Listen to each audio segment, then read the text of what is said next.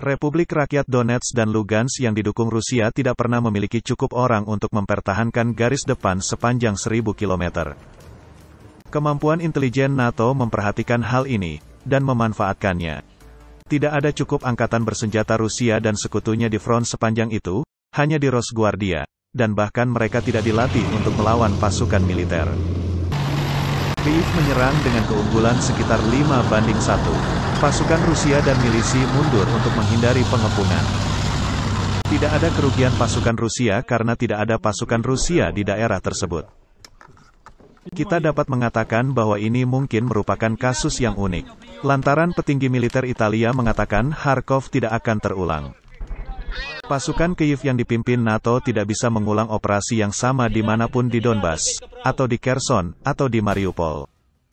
Ketiga wilayah ini dilindungi oleh unit reguler yang kuat tentara Rusia.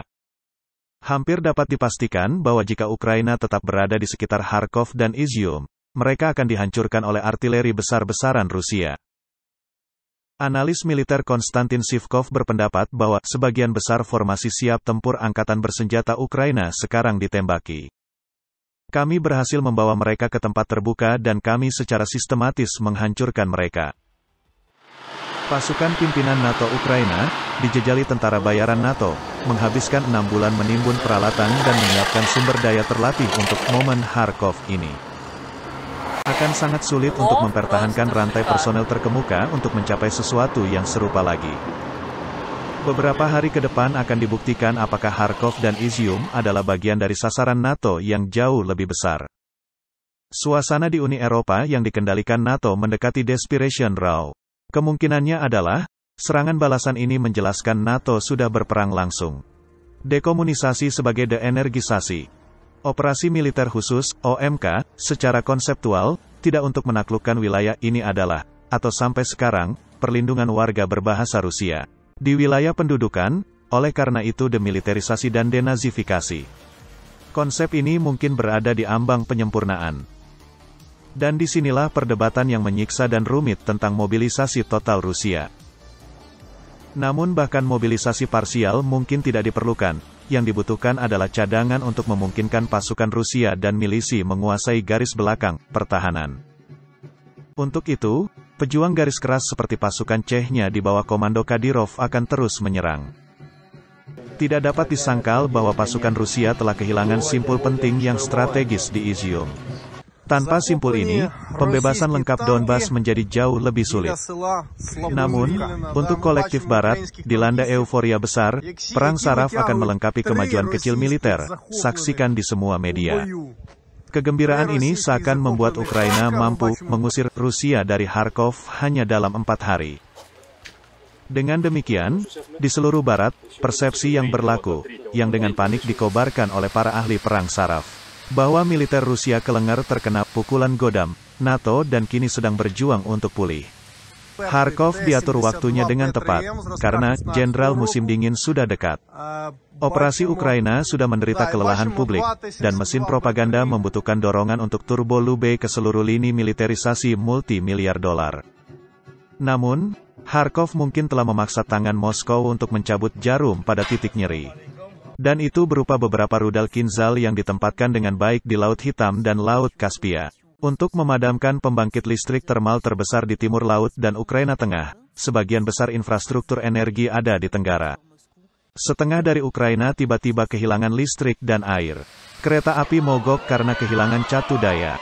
Jika Moskow memutuskan untuk membongkar semua gardu induk utama Ukraina pada saat yang sama, hanya dibutuhkan beberapa rudal untuk menghancurkan jaringan energi Ukraina secara total, menambahkan arti baru pada dekomunikasi, penonaktifan. Kembali ke abad silam. Menurut analisis para ahli, jika trafo 110-330 kV rusak hampir tidak mungkin untuk mengoperasikannya. Dan jika ini terjadi setidaknya di lima gardu pada saat yang sama, maka semuanya mati. Zaman batu dimulai, gelap gulita. Pejabat pemerintah Rusia bahkan Marat Basirov jauh lebih konkret. Ukraina tenggelam di abad ke-19. Jika tidak ada lagi sistem energi, tidak akan ada lagi tentara Ukraina.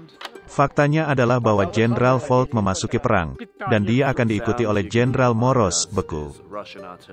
Dan jika demikian, kita mungkin akhirnya masuk ke perang yang sebenarnya. Seperti dalam sindiran terkenal Putin bahwa kita bahkan belum memulai apa pun.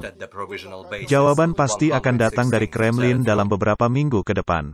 Sekali lagi, Perdebatan sengit berkecamuk tentang apa yang akan dilakukan Rusia selanjutnya. Bagaimanapun, Kremlin tidak dapat digoyahkan. Rusia dapat memilih di tempat lain untuk penyerangan strategis tipe pemenggalan kepala yang serius. Rusia dapat memilih untuk mengirim pasukan tambahan untuk melindungi garis depan, tanpa mobilisasi parsial. Dan di atas semua itu, dia dapat memilih untuk memperluas mandat operasi militer khusus seperti penghancuran total infrastruktur transportasi dan energi Ukraina, dari ladang gas ke pembangkit listrik termal. Gardu induk dan penutupan pembangkit listrik tenaga nuklir. Tentu saja, itu masih bisa menjadi campuran dari semua hal di atas. SOK NAW versi Rusia, menghasilkan bencana sosial ekonomi yang belum pernah terjadi sebelumnya. Pesan ini telah dikirim melalui telegram dari Moskow, kami dapat membawa Anda kembali ke zaman batu kapan saja dan dalam beberapa jam. Kota Anda akan menyambut musim dingin umum tanpa panas, air dingin, pemadaman listrik, dan konektivitas nol. Operasi anti-teroris Semua mata tertuju pada apakah pusat pengambilan keputusan, seperti di Kyiv, dapat segera dikunjungi oleh Kinzal. Itu berarti Moskow sudah muak. Siloviki, orang-orang dekat Putin, tentu saja melakukannya. Tapi kita belum sampai ke sana. Karena bagi Putin yang sangat diplomatis, permainan sebenarnya berkisar pada pengiriman gas ini ke Uni Eropa, boneka kecil dari kebijakan luar negeri Amerika. Putin tentu sadar bahwa tim tuan rumah berada di bawah tekanan. Putin bahkan menolak mobilisasi parsial. Indikator sempurna tentang apa yang bisa terjadi di musim dingin adalah referendum di wilayah yang dibebaskan. Batas waktunya adalah tanggal 4 November, Hari Persatuan Nasional, sebuah peringatan yang diperkenalkan pada tahun 2004 untuk menggantikan perayaan Revolusi Oktober. Dengan masuknya wilayah-wilayah ini ke Rusia, setiap serangan balasan Ukraina secara otomatis akan dikualifikasikan sebagai tindakan perang terhadap wilayah-wilayah yang tergabung dalam Federasi Rusia. Semua orang tahu apa artinya itu. Sekarang mungkin sangat jelas bahwa ketika kolektif Barat mengobarkan perang bibrida, kinetik, memberikan data satelit besar-besaran kepada gerombolan tentara bayaran. Dan Rusia bersikeras untuk melakukan OMK yang didefinisikan secara samar. Rusia berisiko mengalami kejutan yang tidak menyenangkan. Operasi militer khusus tidak memadai. Dengan demikian, status operasi militer khusus, OMK, mungkin akan berubah, berubah menjadi operasi anti-teroris. Ini adalah perang eksistensial. Bisnis yang harus dihadapi adalah untuk memimpin atau mati. Tujuan geopolitik, geoekonomi Amerika, terus terang, adalah untuk menghancurkan persatuan Rusia. Memaksakan perubahan rezim, dan menjara semua sumber daya alam yang sangat besar itu. Orang-orang Ukraina hanyalah umpan meriam, dalam semacam remake sejarah yang dipelintir. Padanan modern dari tumpukan tengkorak yang disemen oleh Timur Gurkani menjadi 120 menara ketika dia menghancurkan Baghdad pada tahun 1401. Mungkin perlu pukulan palu bagi militer Rusia agar bangun. Tapi cepat atau lambat, sarung tangan dari Beludru dan lainnya akan dilepas. Rusia bisa meninggalkan operasi militer khusus untuk memasuki perang sesungguhnya.